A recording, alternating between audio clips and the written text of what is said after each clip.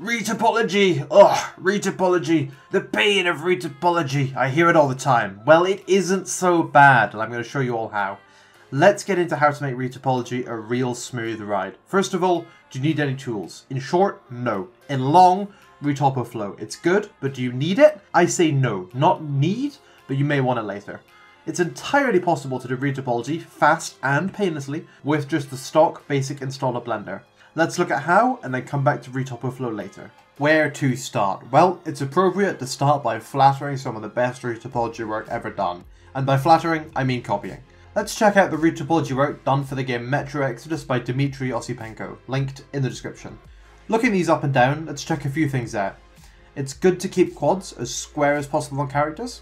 Triangles are fine, but it's a good idea to keep them close to being half as square as possible. We want to keep topology flowing around joints that may bend. Areas that will go closer to the camera warrant more polygons. We want as close a match to the high poly mesh as we can manage. Now, there are more considerations that can be made, but they will come naturally as you get more into the groove of retopology and research more. I will, however, show some when they come up later in the video. So, one more thing though, these are all considerations to be made for AAA game assets, based on reference of a AAA game asset, but do remember to find appropriate reference for the performance targets you're working with, be it mobile games or console or otherwise. So, let's deploy some of these techniques on a high poly 3D scan I downloaded from Benjamin Bardou on Sketchfab, again the link is in the description. I'm going to show off the ways that I would personally retopologize this model to be on a AAA game asset kind of level, similar to Metro Exodus, as close as I can get of course, I'm not quite AAA just yet.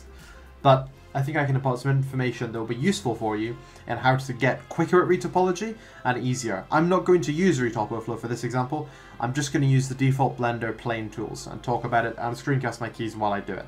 Now, I told one little fib to you at the beginning of this video. I said that I would make it totally easy. Now, you do need to do some work and you will need to practice this, but by hopefully knowing which direction to focus your work in on retopology for this video, it's going to become a lot easier for your future projects. So, in Blender now, I have this model of Julius Caesar. Maybe, I don't know, I'm not a historian. Anyway, I am a retopologer though, so I'm going to get in there. All I'm going to do to start is just create a plane and then merge all the points at the center. I've got the snap set up to be the uh, individual elements onto faces, because that's just the way I like it the most. You can set up your snapping however the hell you like. And all I'm going to do is look at where the contours are, look at where we need details in this geometry, to get a good bake later, you know, to be a good game asset. And I kind of see this jawline as a great place to start this retopology. Now, all I'm going to do is do a couple of minutes of this. I'm not going to do the entire model, because within a couple of minutes I'm sure I can get across a lot of the ideas. All I'm doing right now is just creating faces. I'm using the F2 add-on for a slightly quicker face creation. It lets you select a corner, point, and then create a face inverse to it. And do that, you can fill out edges and stuff. You can install the F2 add-on just by taking a box in the Blender add-on settings. It's already uh, packaged with the program, and I highly recommend the use of it.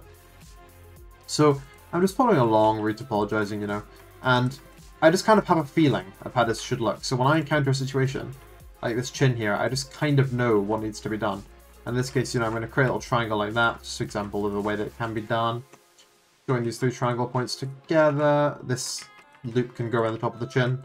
And I can just kind of carry on following on. I'm actually doing this quite low poly at the moment, relatively speaking, compared to how much I could use for something like this. But there are a lot of guides on the internet that I strongly encourage you to look up if you're doing character retopology of how the loop should be around a face. And one thing about a face is, you can see we've already filled out that much, it's not going to take that long to do the whole character at this rate. You just got to get the pace going and you got to stay motivated on it. And I can't tell you how to stay motivated, but I can certainly tell you that it's motivating to me that the longer I wait to finish the work, the longer I wait to do the retopology, oh, the longer it's going to take. I'm just sitting there kind of waiting for the uh, retopology to do itself and it ain't going to happen. Maybe maybe this video should be more of a pep talk, you know, everyone knows how to do retopology, just no one wants to do it. You should just get motivated. Um, what I say to get people doing retopology, I don't know.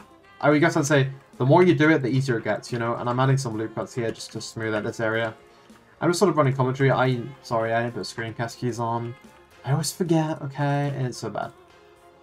You can guess what I'm doing. It's just control R loop cuts. This video, it had a scripted start, and now I'm just kind of riffing while I do this retopology, and that is way less polished, but you know, you're you're in this deep already, you might as well see what I have to finish off with. And you see, just trying to keep my quads even, um, so that the squares are about square-like all the time and the triangles are always about half a square is really what you want to do for good retopology, you know? And like this piece here as well, you can see because all the quads are kind of even 50-50 edges, I mean they're not, but they're close enough. The shading across it is really smooth without me having to go into the normals at all. And I can just keep doing this little thing and you know like I create like a 5 pole here. Use my F2 here and we can start to bring this kind of What's these muscles called? I don't know, I can't sculpt. But there's these muscles along here that we can follow with a line of topology and that'll look really good. Because it'll help us keep it close to the base. Now, I didn't really clarify maybe enough about what retopology is for, or why you would do it in this video, but in case you somehow made it this far into the video without knowing that, you're going to do retopology pretty much exclusively, so that you have game assets that are more optimized than the high poly sculpts you created, and then you can bake those high poly sculpts down to normal maps, and then you can have a, something that looks like a high poly sculpt, but in actuality it's just a low poly mesh like this, which is really easy to run for the computer. So, in case you made it this far somehow, or you've found this video without knowing that, well, knowledge bite for you. I'm really just riffing at this point while I do this, because maybe that's my motivation for retopology, I just kind of go off talking about stuff, but at least some of what I'm saying probably has some value. And you can see I'm doing different steps in here. You can see on Google Images, it's very easy to find good like topo guides. Like if you need to get a lot more detail and you have four corners, you can just like grab it and then like insert like that, you know?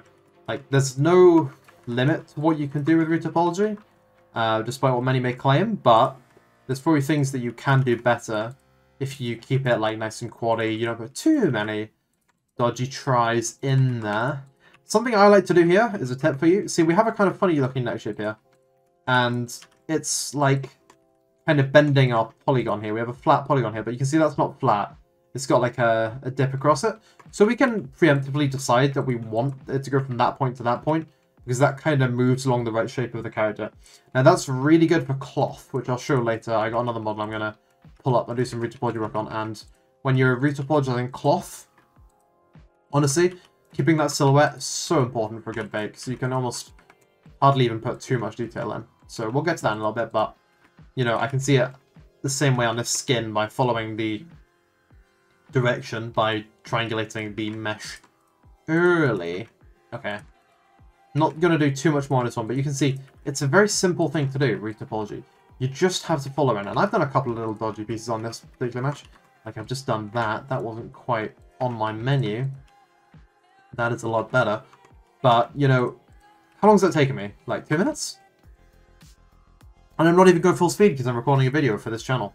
So, if you can just get the nose to the grindstone, you can finish this whole body probably in like 15, 20, 30 minutes, you know? It's so bad, is it? Anymore? Retopology, you've probably been doing it for hours. Let's be real here. You've probably been doing retopology for hours. I did retopology for hours. But you know why I did retopology for hours? Because I didn't want to do retopology. So the more I want to do retopology, the... Sorry, the less I want to do retopology, the longer it's going to take. All you got to do is commit to it. This is a message to you, the exact person right now, who is watching this video because they didn't want to do their retopology work. Anyway, let's move on to the second model and talk about doing clothes. This is the second one I want to go over, and this is one that I downloaded again from Sketchfab. It's some character from a manga I didn't particularly like, but the sculpt is really well done, and it's got some wonderful stuff going on with this cloth, and that is why I grabbed this one. So I'm going to do this cloth here on this like tank top. Uh, same way we started before, just drop a plane in and go at the center now. What I'm going to do at first is I'm going to do like a really kind of almost clean straight across quad topology on this piece here. Now you'll be very confused at first, won't you? You'll be so confused now you won't be that confused because what I'm doing is actually quite straightforward. Uh, I don't know why I'm riffing like this today. I do not have the these. It's this new idea. These weekly uploads on Fridays. They're going to be a bit shit sometimes. Oh, I said a naughty word. Um, didn't want to do that in these videos, but a lot. So I'm really talking crap now, but what I'm trying to say is I'm going to go straight across it with quads like this, and then I'm going to come back to it in a second, and you're going to see why. Because I'm going to then adapt it to follow this asymmetrical uh, cloth pattern we have here. So you see, I'm just going over like this, keeping everything super tight in quads, keeping it super nice. You know, this is good, but, you know, you see it's not showing any respect. These big folds. And these big folds, deserve to be respected. So let's just put one there and like one there. So what I'm going to do first of all is move some of the points on the top. And then, you remember earlier I mentioned this joining like that? I'm going to do that. Now that isn't going to always be enough. Sometimes you're to have to use a bit of a knife. See, I put a knife in the spot here. And that might not have been the best move ever, but let's move this piece back here. Join like that. You know, we can take this one out, have it move along this edge here. And you know, this is where you can get kind of freeform and stuff, and you can start bringing in like tris and other things, because, you know, this particular piece here, this, like, chess piece, is not, you know, on an overly deforming area, right? And even if it was, it doesn't mean it's impossible. It just means you're going to have to be a little delicate about your weight painting. So you see, I'm just cutting across with a knife here, just so this matches the shape. And you can actually see the lines are now apparent in this low poly mesh I'm creating.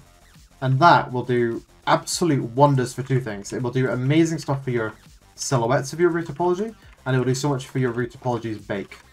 Because the bake will be so much more like what it actually is, you know? You're not going to be trying to bake these big folds onto these flat surfaces, which is something that I think a lot of people do try and do, and something I certainly try to do at times too.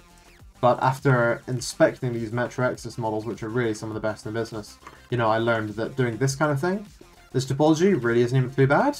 There's just a couple of triangles that can easily be handled, and it improves the quality enormously. Even just such a sort of thing like that. You know, this model isn't the best for it, because it doesn't have huge seams and huge folds or anything, but just this fold here is enough to demonstrate conceptually that, you know, carrying on with these shapes is an exercise worth doing. Like, it's just, you know, I'm repeating myself at this point really, but it is seriously worth getting the knife tool out and just following along.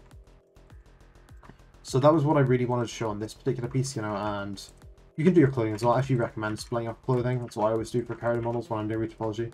I split the clothing up to second part. I'm not gonna I'm not gonna split this one off on YouTube because I haven't checked underneath. There could be all kinds of things sculpted under there, and I do not want to get this video taken down. It's already a little bit of a risque model. It was just the only free one I could find that really proved my point. But yeah, not too much more to say about that. Retopology, it's all in the feeling, and you just need to get in there and do it. Keep your quads equal, look for good reference, copy the reference.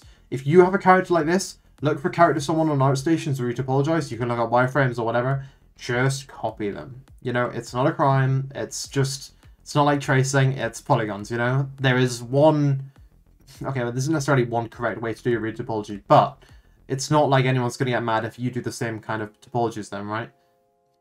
I don't know, some probably would, but pay no, pay no heed to them, pay no heed to them. Because all you want to do is just copy good topology and just keep practicing. And I know I said this video is like a magic cure-all, but in a way it is, because I am giving you the best solution to retopology that I'm aware of. It's just that it might be a little bit of a hard pill to swallow. Anyway, I'm going to cut this video off here. Good luck. I will see you all next Friday for a new video, if that's something you want to watch. Maybe I'll never see you again. But if it is, please do subscribe, stick around, like the video if you want more people to see me rambling madly about topology. And, you know, maybe if I ever do really crack this topology stuff, I'll make a better video where I actually tell you good techniques of how to do it. But until then, hopefully this was helpful, and I'll see you.